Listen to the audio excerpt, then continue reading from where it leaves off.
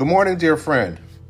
Welcome to our weekly edition of the Ellen G. White devotional series for Sunday, July 31st, the last day of July, 2022. Be used by the Spirit in Christ's service. I'll be reading once again from the devotional To Be Like Jesus by Ellen G. White. The Bible says in Revelation chapter 15, verses 3 and 4 Great and marvelous are your works, Lord God Almighty. Just and true are your ways, O King of the saints. Who shall not fear you, O Lord, and glorify your name? For you alone are holy, for all nations shall come and worship before you. Again, that's from Revelation 15, verses 3 and 4, from the New King James Version of the Bible. God will move upon those in humble positions to declare the message of present truth. Many such will be seen hastening hither and thither, constrained by the Spirit of God to give the light to those in darkness.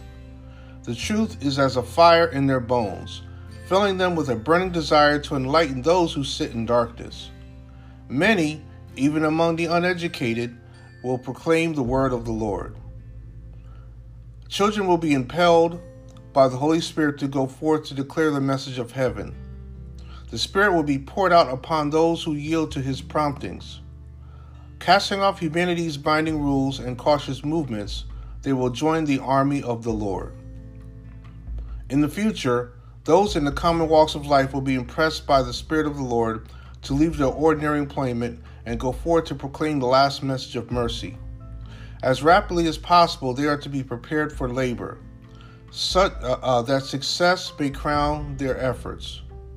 They cooperate with heavenly agencies, for they are willing to spend and be spent in the service of the Master. No one is authorized to hinder these workers. They are to be bidden Godspeed as they go forth to fulfill the Great Commission. No taunting word is to be spoken of them, as in the rough places of the earth they sow the gospel seed. Life's best things simplicity, honesty, truthfulness, purity, unsullied integrity cannot be bought or sold.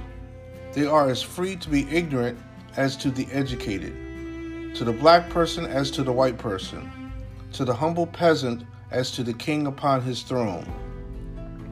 Humble workers who do not trust in their own strength, but who labor in simplicity, trusting always in God, will share in the joy of the Savior. Their persevering prayers will bring souls to the cross. In cooperation with their self sacrificing efforts, Jesus will move upon hearts, working miracles in the conversion of souls.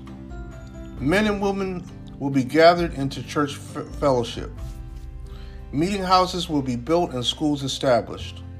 The hearts of the workers will be filled with joy as they see the salvation of God.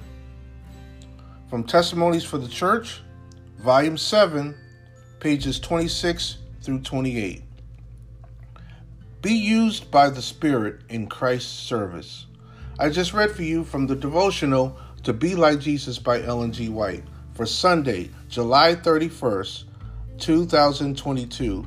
As we end the month of July, we have just taken a look at this month uh, practicing the end time lifestyle.